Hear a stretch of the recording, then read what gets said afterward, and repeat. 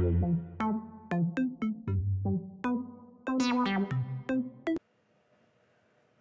day sa inyo. Ang araw ngayon ay February 22, 2021. Pero ang ipapakita kong trades ngayon ay yung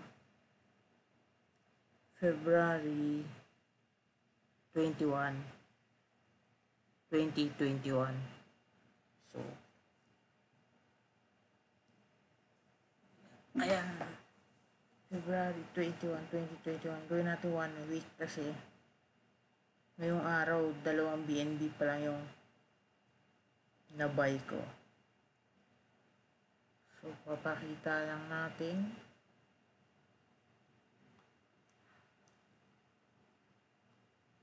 Twenty twenty one. So, dito tayo nag-start sa 2021. BNB, puro BNB pa rin ng buy. Yan. Ito dalawang buy ng BNB sa halagang 270 at 272. Tapos nabenta ko ng 277.5. So, ayan, makikita yung barya lang naman yung gain. 0.3 lang.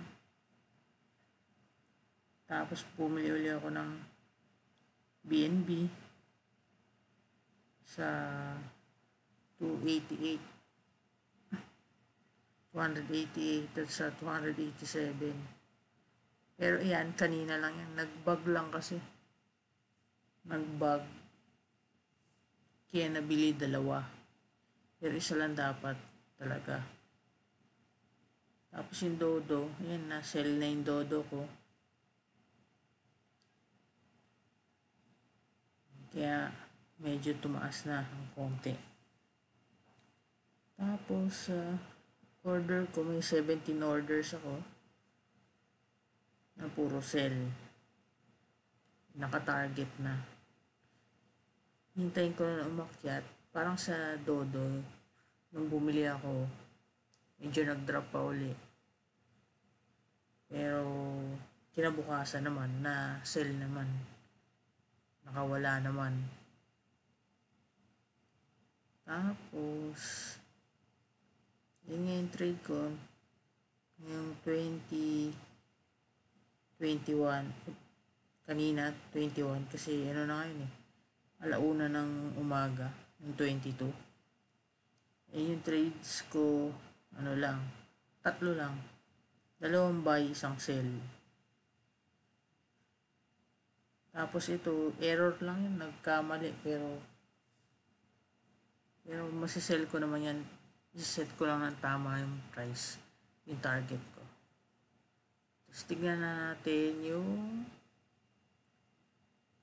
wallet natin overview. Kasi kahapon nag 700 na tayo. Tingnan natin ngayon, baka bumaba. Kasi, ayun, ganun pa rin, 704.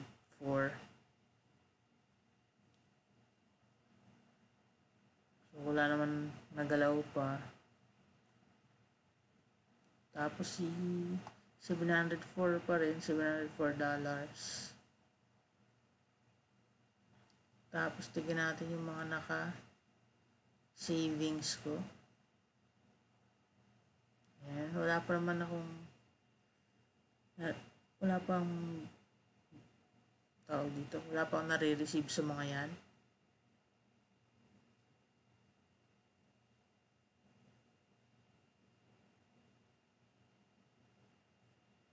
Ah, ito meron na ata ito. Pero sa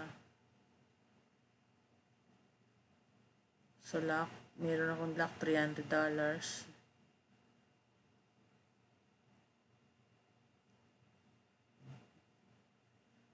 So, wala pang $1 dollar yan, 0.5 pa. May interest lang to.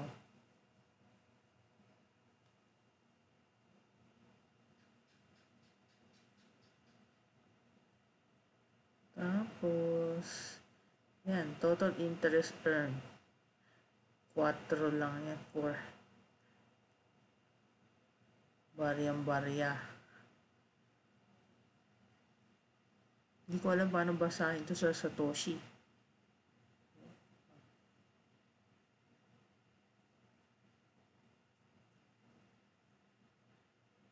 So, 356. Kung naalala nyo, 150 yun eh. Yung pinantitrade ko.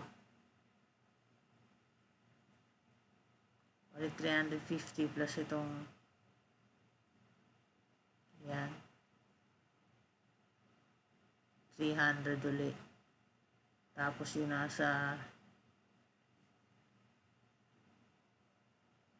nasa staking. Tignan natin, meron ba ako? Wala. Siyempre, wala siya sa launchpad. So, savings lang talaga. Sa flexible at lock.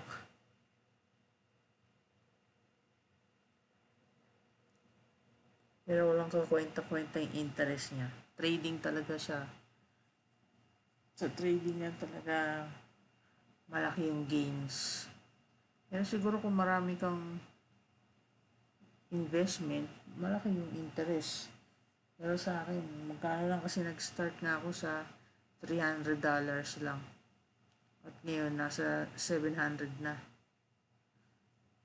704 na yung $300 ko.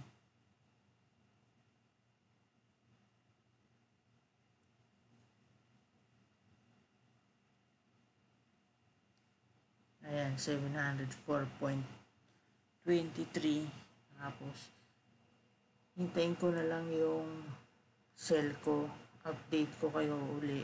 Mamaya, nagawa ko ng video kung mabebenta ko ba yung nag-error kanina na nag-buy dalawang beses. Ayan, dalawang BNB, bumili siya. And error lang yan. So, gusto nyo rin gumawa ng account at mag-trade, gamitin nyo na yung referral link ko. Meron din naman akong QR code dito. Scan nyo na lang. Tapos, yun, mag-aral kayo. In, mag-aral. Mag-invest sa education. Ganun ba? na huwag yung gagayahin yung ginagawa ko na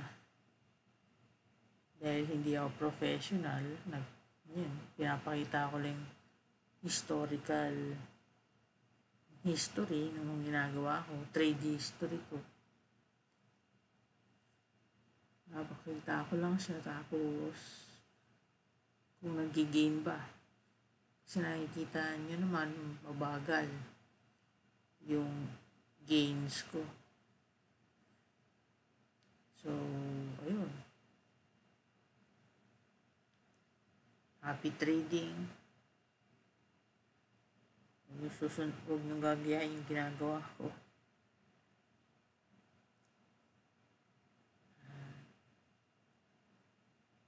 GG.